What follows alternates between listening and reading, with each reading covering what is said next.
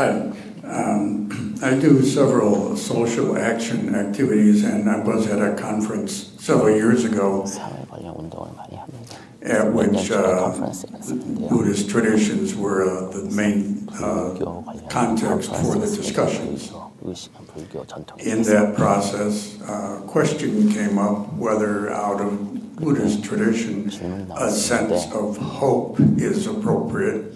희망이 And 불교 there was a 전통에서 long discussion about that in the context 그래서 of 희망하고 불교 uh, 가르침하고 form and form getting in the way of um, 하나의 식이 돼가지고 seeing exactly what one is about. 그래가지고 그걸 And so I was asking to contrast 하는지 the idea of hope versus the idea of expectation. 네, 우리가 기대를 하면 실망을 하게 됩니다. So when we expect something, we are bound to be disappointed, 어, 그래 실망은 괴로움입니다. and disappointment is suffering.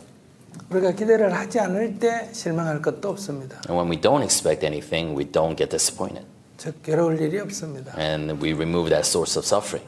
그래서 우리가 어떤 일을 할 때 지나친 기대를 하지 말라고 합니다. So that's why we teach do not expect a lot when you're engaged in some kind of work. 다른 사람에게 뭔가를 베풀었을 때 So when you actually, you know, give charity, for example, 어, 거기에 어떤 칭찬이나 뭐 보상이나 이런 기대를 하지 말라는 겁니다. we say do not expect any sense of uh, return, any sense of praise. 아무런 기대함이 없이 베풀 때 그것은 괴로움이 일어나지 않습니다. So when you give charity, when you give without a sense of expectation in return, then you don't cause suffering. 그것을 상을 짓지 않는 보시라 이렇게 부릅니다. So that's why in Buddhist tradition, that's called giving without creating an image or form. 또 누군가를 좋아할 때도 마찬가지입니다. Same thing when you actually like somebody. 내가 좋아하니까 너도 날 좋아해라. We develop a sense of entitlement. We, we think that because I like you, you should like me. 어 근데 내가 좋아한 만큼 좋아하지 않게 되면 실망을 하게 됩니다. But if the, you know, if the feelings are not reciprocated, we get disappointed.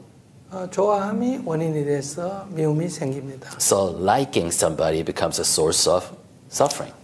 어, 좋아하지 마라가 핵심이 아닙니다. So we don't teach never like somebody 어, 내가 좋아하는 것은 내 자유입니다. because it's my freedom, my right to like somebody. 어, 그러나 그- 그가 나를 좋아하라고 요구할 수 없다, 기대할 수 없다는 겁니다. But what we say, you can't demand or expect the other person to also like you.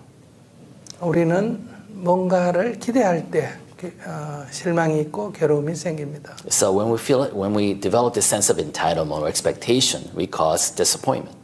희망이라는 것은 뭐 기대의 일종이라고 생각합니다. In that sense, hope is a form of expectation. 어, 우리는 언제나 어, 기대를 감을 가질 때가 있습니다. You know, we all expect something, 아, 그러나 거기에 너무 집착하지 말라는 겁니다. but what we teach is do not allow yourself to get too attached to that expectation. 내가 뭔가를 하고 싶어 합니다. Say, I want to do something, 어, 그때 두 종류가 있습니다. and there are two types. 하나는 욕망이다, 욕구라고 말하고요. 다른 하나는 원이라고 말합니다. One is a sense of desire. You're driven by a desire to do something. The other one is aspiration. 두 개의 차이가 뭐냐는 거예요. And what's the difference between the two? 그것은 만약 그 일이 이루어지지 않았을 때 And the, 괴로우면 그것은 욕망이라 그러고 괴롭지 않으면 원이라고 말합니다. so when you suffer disappointment, uh, when something you desired did not happen, that is uh, desire that arises, that came out of desire. But if you don't suffer disappointment, even though what you wanted to happen didn't happen, we can call that aspiration. 어, 우리가 뭔가를 원할 때 에, 그것을 위해서 노력을 합니다. So if, if we want something, we put in the effort. 어, 그것이 안 되면 아, 안 되네 어떻게 하면 되지 하고 다시 연구해서 하게 됩니다. So, and when that doesn't come about the way you want it, then you kind of investigate, you look back, you course correct, and you try again. 또 안 되면 또 연구해서 하게 됩니다. And if you fail again, then you course correct again. 여기에는 괴로움이 일어나지 않습니다. And in that process, there's no suffering. 이렇게 계속 실패하면서 능력이 커져갑니다. You know, there's uh, failures, but you also increase your capacity, your resilience. 이것을 원이라고 말합니다. And that pathway is leading to an aspiration. 수행자는 이 원을 가져야 됩니다. So a practitioner aspires. 어, 그래서 점점 능력도 커집니다. That also increases our capacity.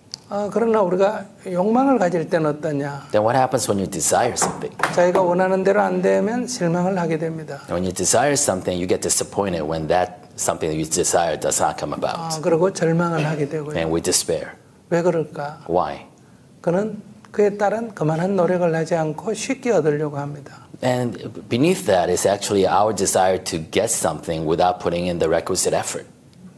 어, 그렇기 때문에 뭔가를 원하는 것이 원인이 아니라 어, 적은 노력을 하고 쉽게 결과를 얻으려고 하는 데서 생긴 일입니다. So the suffering doesn't come from the fact of the desire itself. It comes from our this, uh, our want to get something without putting in the right amount of effort.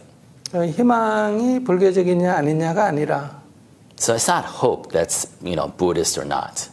어, 그만한 어, 노력을 해서 얻으려고 할 때는 어, 불교적입니다. So hope can be said to be Buddhist when you actually are willing to put in the effort to get what you want. 어, 그만한 노력을 하지 않고 쉽게 얻으려고 할 때, 그래서 이루어지지 않을 때 괴롭다면 그것은 욕망일 뿐입니다. But if you want those results in an easy result without putting in the effort, then that's desire. 우리가 깨닫겠다는 것도 마찬가지입니다. Same thing with enlightenment. 그만한 수행을 한다면 그것은 깨달 원입니다. So enlightenment is an aspiration when you're willing to put in the effort, the practice to get there. 빨리 깨달아되지 않는다고 어, 좌절하거나 실망한다면 그것은 욕망입니다. But if you despair or get disappointed because you are not there, you're not enlightened as quickly as you want, then you know it came out of desire. 추가적인 질문을 하십시오. Do you have any follow-up comments or questions?